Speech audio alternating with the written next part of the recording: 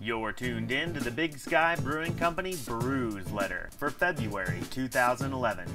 And this is our family of beers Moose Drool, Scapegoat, Montana Trout Slayer, Big Sky IPA, and of course our seasonals Summer Honey, Powder Hound, Heavy Horse Scotch Ale, and the newly released Cowboy Coffee Porter.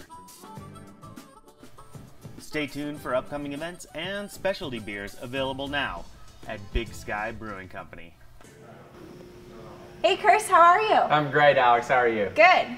Well, it's February, so in honor of Valentine's Day, I brought some Sweet Palace chocolate made with moose drool for you. Wow, thanks, Alex. Yeah, you bet. I appreciate that. Hey, I believe we have a special guest coming up. Oh my gosh, Oh, we is that sure Don? do. guys? It's Don Cutler, our Arizona going? sales Hey. Nice to see you. Nice to see you. Sorry. Don, that's all the time we have for you this evening, but thanks for oh. coming by.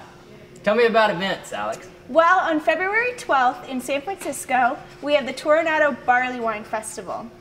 So check that out. And then we also have an atomic ski giveaway coming up at the Great Northern Bar in Whitefish. So stay tuned Nice. for updates. We'll have that on Twitter and Facebook.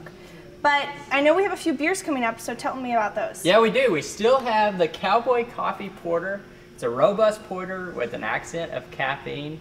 It's moving fast, so get it while it's hot. And we're bringing back our most popular seasonal release, the Heavy Horse Scotch Ale. That's going to be out this spring. We're bringing it back from the fall, so get it while it's hot.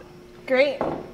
In honor of President's Day weekend coming up, we decided to go into the bars and talk to local patrons about what they think President Abraham Lincoln or President George Washington would drink. So let's see what they had to say. The question is Big Sky Beer, George Washington, Abraham Lincoln, which one would they have drank, sir? I, I drink a scapegoat, man. I see Honest Abe as an Ivan the Stout kind of guy.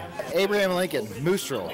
Uh, George could not tell a lie. He'd have been drinking probably the Moose Drool. You know, if you can't tell a lie, you're probably drinking the Moose Drool. It's a truthful beer.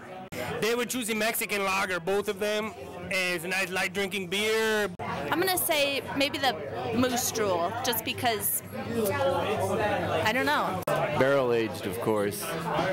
That's the kind of guy he was. Interesting. Yeah. Well, we have a new segment. Chris and I are going to choose bottle caps of the month. Yeah.